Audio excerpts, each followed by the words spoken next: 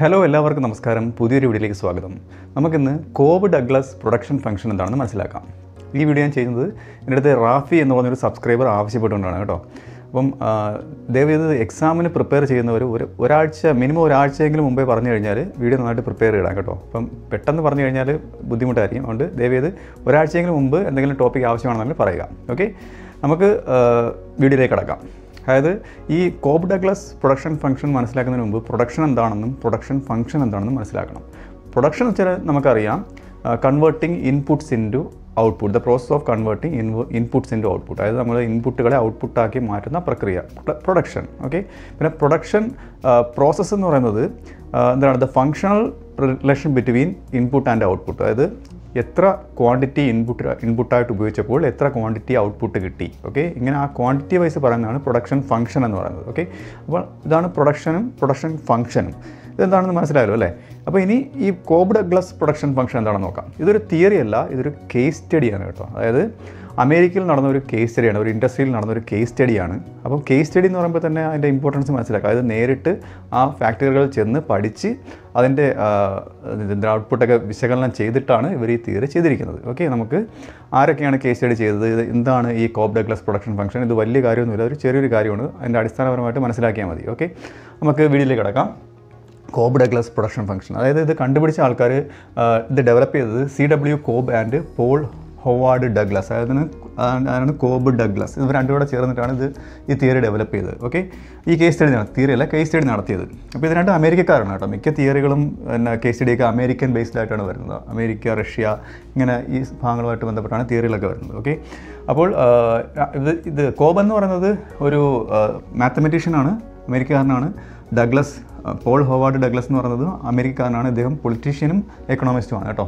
അപ്പോൾ ഇവർ രണ്ടും ചേർന്നാണ് തിയറി ഡെവലപ്പ് ചെയ്തത്. എന്ന് പറഞ്ഞിട്ട് ഞാൻ നേരത്തെ പറഞ്ഞു this is this is a case study based on American manufacturing industry അതായത് മാനുഫാക്ചറിങ് ഇൻഡസ്ട്രി അറിയാമല്ലോ അത് ഗുഡ്സ് ഉൽപ്പാദിപ്പിക്കുന്ന ഇൻഡസ്ട്രിയെ ബേസ് ചെയ്ത് നടത്തിയ ഒരു കേസ് സ്റ്റഡിയാണ് ഈ പ്രൊഡക്ഷൻ ഫംഗ്ഷൻ ഇത് ശരിയായിട്ടുള്ള കാര്യമാണ്. ഇത് മറ്റൊന്നും തെറ്റെന്നല്ല ഇത് എന്താ റിയൽ ആയിട്ടുള്ള കാര്യമാണ്. അതായത് ഓൺലി ടു ഈ പ്രൊഡക്ഷൻ ഫംഗ്ഷൻ പ്രകാരം കോബ് ഡഗ്ലസ് പ്രൊഡക്ഷൻ ഫംഗ്ഷനിൽ മറ്റേ നമ്മുടെ സാധാരണ ഫാക്ടറീസ് പ്രൊഡക്ഷൻ പ്രൊഡക്ഷൻ നാലെണ്ണം ഇല്ലേ അതായത് ലാൻഡ് ലേബർ ക്യാപിറ്റൽ എൻട്രപ്രണർ പക്ഷേ ഇതിൽ രണ്ടേ രണ്ട് ഫാക്ടറീസ് ഓഫ് പ്രൊഡക്ഷനേ ഉള്ളൂ. അത് ഇതൊക്കെയാണ് labour and capital only two factors of production labour and capital okay പിന്നെ ഇനി ലേബർ കോൺട്രിബ്യൂട്ട് ചെയ്യുന്നത് എത്ര? ക്യാപിറ്റൽ കോൺട്രിബ്യൂട്ട് ചെയ്യുന്നത് എത്ര? അതിന് ഇദ്ദേഹം ഈ രണ്ട് പേര് ഒരു കണക്ക് കണ്ടുപിടിച്ചു. അതായത് contribution of labour is three by four അതായത് മുക്കാൽ ഭാഗം ലേബറും ബാക്കി വരുന്ന കാൽ ഭാഗവുമാണ് ആര് കോൺട്രിബ്യൂട്ട് ചെയ്യുന്നത്? ക്യാപിറ്റൽ കോൺട്രിബ്യൂട്ട് ചെയ്തത്. ഇവരുടെ കണ്ടെത്തലാണ്. അവിടെ നടത്തിയ സ്റ്റഡിയുടെ ബേസിൽ നടത്തിയ കണ്ടെത്തലാണ് കേട്ടോ.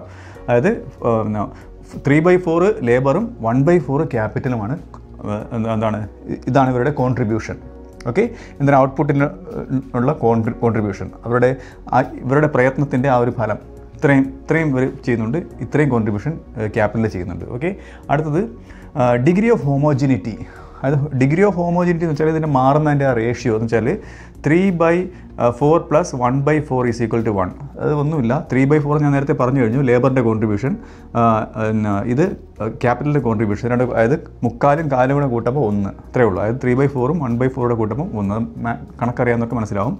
അതായത് ഇത് ഈ three by four L labour one by four capital C is equal to one ഇത്രയേ ഉള്ളൂ. ഇത് കോബ് റെഗുലസ് പ്രൊഡക്ഷൻ ഫംഗ്ഷനിൽ പറയുന്ന ഒരു കാര്യമാണ്. ഓക്കെ അടുത്തത്. മോർ അതായത് മോർ ലേബർ ഇപ്പോൾ ലേബറിന്റെ എണ്ണം കൂട്ടുകയാണെന്നുണ്ടെങ്കിൽ three three by four increment increment in the output അതായത് ലേബറിന്റെ കോൺട്രിബ്യൂഷൻ ത്രീ ബൈ ഫോർ ആണല്ലോ. മുക്കാൽ ഭാഗമാണല്ലോ. ഔട്ട്പുട്ട് എത്രയാണോ അതിന്റെ മുക്കാൽ ഭാഗം. അപ്പോൾ ആയിരം ഔട്ട്പുട്ട് ആണെന്നുണ്ടെങ്കിൽ അതിൽ എഴുന്നൂറ്റമ്പതും ആരാണ് കോൺട്രിബ്യൂട്ട് ചെയ്തത്? ലേബറാണ് ബാക്കി ഇരുന്നൂറ്റമ്പത് ഔട്ട്പുട്ട് മാത്രമേ ആര് കോൺട്രിബ്യൂട്ട് ചെയ്തോളൂ. ക്യാപിറ്റൽ കോൺട്രിബ്യൂട്ട് ചെയ്തോളൂ അപ്പം അതാണ് പറഞ്ഞത്. ഇപ്പോൾ ലേബറിന്റെ എണ്ണം കൂട്ടുകയാണെന്നുണ്ടെങ്കിൽ നമ്മൾ ആ ഔട്ട്പുട്ട് ടോട്ടൽ ഔട്ട്പുട്ടിന്റെ ത്രീ ബൈ ഫോർ ഇൻക്രിമെന്റ് ഉണ്ടാക്കുന്നു എന്നാണ്. ഓക്കെ അപ്പം ക്യാപിറ്റൽ കൂട്ടുകയാണെന്നുണ്ടെങ്കിൽ അതിന്റെ വൺ ബൈ ഫോർ ഇൻക്രിമെന്റ് മാത്രമേ ഔട്ട്പുട്ടിൽ വൺ ബൈ ഫോർ മാത്രമേ ഇൻക്രീസ് ചെയ്യുന്നുള്ളതാണ് അതാണ് ഈ പറയുന്ന സെന്റൻസിൽ മോർ ലേബർ അതായത് കൂടുതൽ ലേബർ കൊടുത്തു കഴിഞ്ഞാൽ three by four increment output more capital one by four increment output okay മനസ്സിലായല്ലോ? അടുത്തത്. Any input is zero output will be zero. അതായത് ലേബറോ ക്യാപിറ്റലോ ഏതെങ്കിലും ഒന്ന് സീറോ ആയിക്കഴിഞ്ഞാൽ ഔട്ട്പുട്ട് സീറോ ആവും. ഇത് ക്യാപിറ്റൽ വൺ ബൈ ഫോർ കോൺട്രിബ്യൂഷനെ നടത്തുന്നുള്ളൂ എന്നുണ്ടെങ്കിലും അത് സീറോ ആണെന്നുണ്ടെങ്കിൽ ഔട്ട്പുട്ട് ഉണ്ടാവില്ല. ഓക്കെ ഏതെങ്കിലും ഇപ്പോൾ ലേബർ സീറോ ആയാലും ക്യാപിറ്റൽ ഏതെങ്കിലും ഒന്ന് സീറോ ആയി കഴിഞ്ഞാൽ ഔട്ട്പുട്ട് സീറോ ആവും. അതാണ് ഈ കോബ് ഡഗ്ലസ് പ്രൊഡക്ഷൻ ഫംഗ്ഷനിൽ പറയുന്നത്. ഓക്കെ ഇത്രയേ ഉള്ളൂ കോബ് ഡഗ്ലസ് പ്രൊഡക്ഷൻ ഫംഗ്ഷൻ ഇനി ഇതിനൊരു ഇക്വേഷൻ കൂടെ പറയുമ്പോഴത്തേക്ക് കഴിഞ്ഞാൽ രണ്ട് ഇക്വേഷൻ നിങ്ങൾക്ക് വേണ്ടി കണ്ടെത്തിയിട്ടുണ്ട് കേട്ടോ. അപ്പം രണ്ട് ഇത് രണ്ടും സെയിം ആണ്. ഏതെങ്കിലും ഒന്ന് എഴുതിയാൽ മതി. ഇങ്ങനെ രണ്ടും കൂടെ എഴുതിയാലും കുഴപ്പമില്ല. ഓക്കെ രണ്ടും സെയിം ആണ്. അത് പറയാൻ മനസ്സിലാവും. അതായത് ഇവരുടെ പ്രൊഡക്ഷൻ ഫംഗ്ഷനിൽ വരുന്ന ഇവർ കണ്ടു കണ്ടെത്തിയ ഇക്വേഷന്റെ അടിസ്ഥാനം അതായത് Q is equal to K L raise to A C raise to one minus A simple. ഒന്നുമില്ല. ക്യൂ എന്ന് പറയുന്നത് ക്വാണ്ടിറ്റി ഓഫ് ഔട്ട്പുട്ട് എത്ര ഔട്ട്പുട്ട് ഇവരുണ്ടാക്കി എൽ എന്ന് പറയുന്നത് എമൗണ്ട് ഓഫ് ലേബർ യൂസ്ഡ് ഈ കിടന്ന എല്ലേ ഇത് ഇവർ യൂസ് ചെയ്ത ലേബർ ഇപ്പം പത്ത് ലേബറാണോ നൂറ് ലേബറാണോ എത്ര ലേബറാണ് ഇവർ പ്രൊഡക്ഷൻ പ്രോസസ്സിൽ ഉണ്ടാക്കിയത്? സോറി കൊടുത്തത്. അടുത്തത്. C equal to amount of capital എത്ര എമൗണ്ട് ഓഫ് ക്യാപിറ്റൽ ഇവർ കൊടുത്തു? എത്ര മെഷീനറീസ് അല്ലെന്നുണ്ടെങ്കിൽ എത്ര എന്താണ് ഓയിൽ അല്ലെന്നുണ്ടെങ്കിൽ എത്ര എഞ്ചിൻ ഓയിൽ അതായത് ആ കൊടുത്ത ക്യാപിറ്റൽ ഓക്കെ അടുത്തത്. കെയും എയും ഈ കെയും ഈ എ എന്ന് പറയുന്നത് പോസിറ്റീവ് കോൺസ്റ്റന്റ് ആണ്. അതായത് ഒരു പോസിറ്റീവ് സംഖ്യ. ഒന്നോ രണ്ടോ എത്രയാണെന്ന് വെച്ചാൽ കൊടുത്ത അതിന്റെ എണ്ണം ആണ് സൂചിപ്പിക്കുന്നത്. വെച്ചാൽ ഒന്നാകാം രണ്ടാകാം നൂറാകാം ആയിരം ആകാം ആ പോസിറ്റീവ് കോൺസ്റ്റന്റ് ആണ് ഈ കെയും എല്ലും. ഓക്കെ ഇനി ഇതിന്റെ എങ്ങനെയാണെന്ന് വെച്ച് കഴിഞ്ഞാൽ ഇതിന്റെ ഫംഗ്ഷൻ ഇങ്ങനെയാണ് വരുന്നത്. L plus C is equal to one അത് നേരത്തെ ഇവിടെ പറഞ്ഞു കഴിഞ്ഞു. അതായത് ലേബറും ക്യാപിറ്റലും കൂടെ കൂട്ടുമ്പോൾ വൺ കിട്ടും. അതായത് ത്രീ ബൈ ഫോർ ലേബറും വൺ ബൈ ഫോർ ക്യാപിറ്റലും കോൺട്രിബ്യൂട്ട് ചെയ്യുന്നു. ഇത് ഓൺ കിട്ടുന്നു. ഇത് ഇത് ഇങ്ങനെ കിട്ടുന്നത് കൊണ്ട് ഇതിനൊരു പേര് പറയാം ഇത് ലീനിയർ ഇക്വേഷനാണ് കേട്ടോ. ഇതെല്ലാം ലീനിയർ പ്രൊഡക്ഷൻ ഫംഗ്ഷനാണ് അത് ആദ്യമേ പറയാണ്ടാണ് ഞാൻ ഇപ്പോഴാണ് ഓർത്തത് കേട്ടോ. അതായത് ലീ ഇതൊരു ലീനിയർ പ്രൊഡക്ഷൻ ഫംഗ്ഷനാണ് അതായത് ഇതിന്റെ പ്രൊഡക്ഷൻ പോണത് ഇങ്ങനെ ഒരു സ്ട്രേറ്റ് ലൈനായി പ്രൊഡക്ഷൻ ഗ്രാഫ് പോണത് ഒരു സ്ട്രേറ്റ് ലൈനായിരിക്കും കേട്ടോ. ഓക്കെ പിന്നെ ഇപ്പം ഇപ്പോൾ contribution of cap labour A ആണെന്നുണ്ടെങ്കിൽ ഇപ്പോൾ contribution of labour three by four ആണല്ലോ. അപ്പം കോൺട്രിബ്യൂഷൻ ക്യാപിറ്റൽ എത്രയാണ്? Three by one minus three by four അതായത് വൺ മൈനസ് എ ഇത്രയേ ഉള്ളൂ. അതായത് contribution of capi labour A ആണെന്നുണ്ടെങ്കിൽ contribution of capital one minus A okay എയുടെ സ്ഥാനത്ത് ത്രീ ബൈ ഫോർ വരും. ഓക്കെ അപ്പോൾ ഇത്രയേ ഉള്ളൂ ഇതിന്റെ കാര്യങ്ങൾ അപ്പം ക്വാണ്ടിറ്റി ഓഫ് ഔട്ട്പുട്ട് കിട്ടണമെന്നുണ്ടെങ്കിൽ എത്ര എൽ റൈസ് ടു എ എത്ര ലേബർ എ പോസിറ്റീവ് കോൺസ്റ്റന്റ് ആണെന്ന് ഞാൻ പറഞ്ഞു. ഇവിടെ സ്ഥാനത്ത് സംഖ്യ വരും. ഒന്നാണോ രണ്ടാണോ എത്ര ആണ് ഉപയോഗിച്ചത്?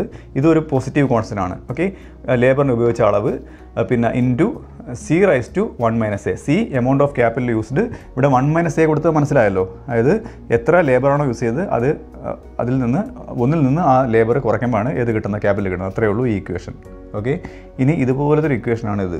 അത് സെയിം മീനിങ് തന്നെ അതിൽ ആൽഫയും ബീറ്റയൊക്കെ വരുന്നേ ഉള്ളൂ. അതിന്റെ അതിന്റെ എന്താണെന്ന് ഞാൻ പറയാം. അതായത് Q is equal to A L raise to alpha K raise to beta okay എന്ന് വെച്ചാൽ Q is equal to quantity of output ഇവിടെയും ക്വാണ്ടിറ്റി ഓഫ് ഔട്ട്പുട്ട് തന്നെ. അത് കിട്ടുന്നത് എങ്ങനെയാണെന്ന് വെച്ച് കഴിഞ്ഞാൽ അതിൽ ഇത് ഇതിൽ ഇതിൽ ഓരോന്ന് പരിചയപ്പെടുത്താം. കെ എന്ന് പറയുന്നത് ക്യാപിറ്റൽ ഓക്കെ ഇവിടെ സി ആണ് ക്യാപിറ്റലായിട്ട് കൊടുത്തേക്കുന്നത് കേട്ടോ. ഇവിടെ കെ ആണ് ക്യാപിറ്റലായിട്ട് കൊടുത്തേക്കുന്നത്. അടുത്ത് അത് കൺഫ്യൂഷൻ വരരുതേ. അടുത്തത് എൽ എന്ന് പറയുന്നത് ലേബറാണ് ഓക്കെ എൽ രണ്ടിടത്തും സെയിം തന്നെ. അടുത്തത് ആൽഫ എന്ന് പറയുന്നത് ലേബർ കോൺട്രിബ്യൂഷൻ ലേബർ എത്ര കോൺട്രിബ്യൂട്ട് ചെയ്തു എന്നുള്ളത്. ബീറ്റ എന്ന് പറയുന്നത് ക്യാപിറ്റൽ കോൺട്രിബ്യൂഷൻ ക്യാപിറ്റലിന്റെ കോൺട്രിബ്യൂഷനാണ് ബീറ്റ കൊണ്ട് സൂചിപ്പിക്കുന്നത്. എ എന്ന് പറയുന്നത് പോസിറ്റീവ് കോൺസ്റ്റന്റ് ഇവിടെ കെയും എയും അല്ലേ പോസിറ്റീവ് കോൺസ്റ്റന്റ് ഇവിടെ എ ആണ് പോസിറ്റീവ് കോൺസ്റ്റന്റ് ആയിട്ട് വരുന്നത്. എന്റെ സെയിം തന്നെ. ലേബർ എത്ര കോൺട്രിബ്യൂട്ട് ചെയ്തു? Labour contribution L raise to എത്ര? ഓക്കെ ക്യാപിറ്റലിന്റെ കോൺട്രിബ്യൂഷൻ കെ റൈസ് ടു എത്ര? ബീറ്റ ഓക്കെ എത്രയുള്ള അത് എല്ലാം കൂടെ അതിന്റെ റൈസ് ടു അതിന്റെ എന്താണ് എല്ലാം കൂടെ ചെയ്ത് ഗുണിച്ച് കിട്ടുന്ന അതിന്റെ ടോട്ടലാണ് ഈ ക്യൂ എന്ന് പറയുന്നത്. ഓക്കെ കാൽക്കുലേറ്റ് ചെയ്ത് നമുക്ക് കിട്ടുന്ന റിസൾട്ടാണ് ടോട്ടൽ ക്വാണ്ടിറ്റി ഓഫ് ഔട്ട്പുട്ട് ഇതാണ് എന്റെ പ്രൊഡക്ഷൻ ഫംഗ്ഷൻ അതായത് ഇതിന്റെ അടിസ്ഥാനമാണിത്. ഓക്കെ ആദ്യം ഇത് സെന്റൻസ് ആയിട്ട് എഴുതുക. ഞാൻ ഇതിന്റെ പോയിന്റ് വൈസ് ആണ് പറയുന്നത്. നിങ്ങൾ പരീക്ഷയ്ക്ക് എഴുതുമ്പോൾ സെന്റൻസ് ആയിട്ട് എഴുതണം കേട്ടോ. ഇത് ഡെവലപ്പ് ചെയ്ത് സെന്റൻസ് ആയിട്ട് എഴുതി കൊടുക്കണം. എന്നിട്ട് ഈ ഇക്വേഷൻ കാണിച്ചിട്ട് ഇതൊക്കെ ഒന്ന് ഈ ഇക്വേഷൻ കാണാൻ പഠിക്കേണ്ടി വരും കേട്ടോ. അത് പഠിച്ചിട്ട് ഇത് എഴുതുക. എന്തൊക്കെയാണ് ഈ ഇക്വേഷൻ സൂചിപ്പിക്കുക എന്താണ്? ഏതെങ്കിലും ഒന്ന് ഒന്ന് ബുദ്ധിമുട്ടാണെങ്കിൽ അതിൽ ഒന്ന് മാത്രം പഠിച്ച് അത് വിശദമായി കൊടുക്കുക. രണ്ടുപേരും പഠിച്ച് ചിലപ്പോൾ കൺഫ്യൂഷൻ ഓക്കെ എളുപ്പമുള്ള ഏതെങ്കിലും ഒരെണ്ണം പഠിക്കുക. ഓക്കെ? ശരി. അപ്പോൾ ഇത്രയേ ഉള്ളൂ. കോബ് ഗ്ലാസ് പ്രൊഡക്ഷൻ ഫംഗ്ഷൻ ഇത് നിങ്ങൾക്ക് മനസ്സിലായെന്ന് വിശ്വസിക്കുന്നു. അടുത്ത വീഡിയോയിലൂടെ മറ്റൊരു വിഷയമായി വീണ്ടും കാണാം.